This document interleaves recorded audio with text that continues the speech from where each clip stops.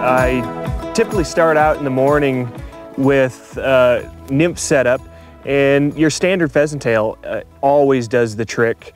And I've basically just tweaked that a little bit, added some partridge and uh, some gray dubbing and, and made more of a Callibaetis nymph.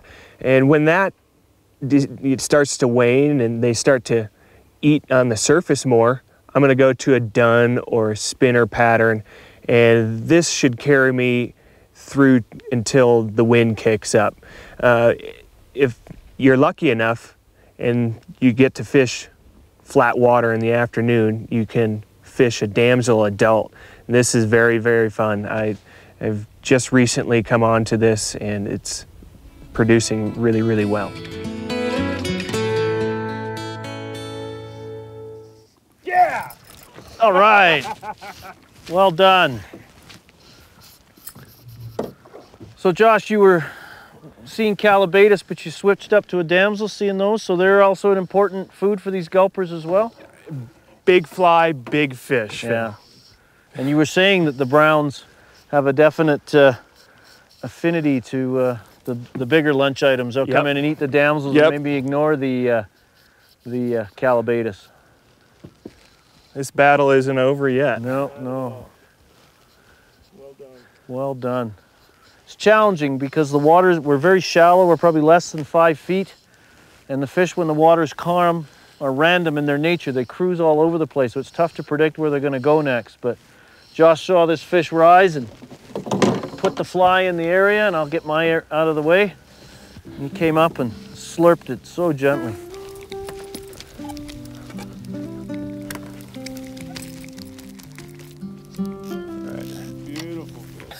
He ain't done yet. Just get mine out of the way here. Reel in. A lot of energy. They're just bulldozers. They don't, uh,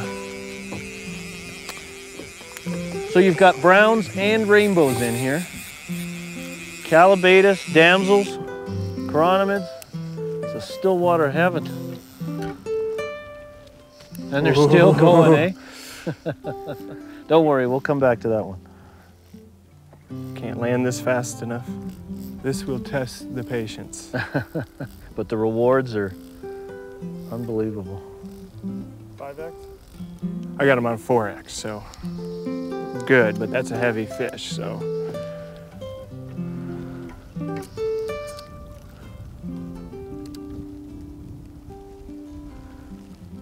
That is a nice fish. All right. Gulper fishing on Hebgen Lake.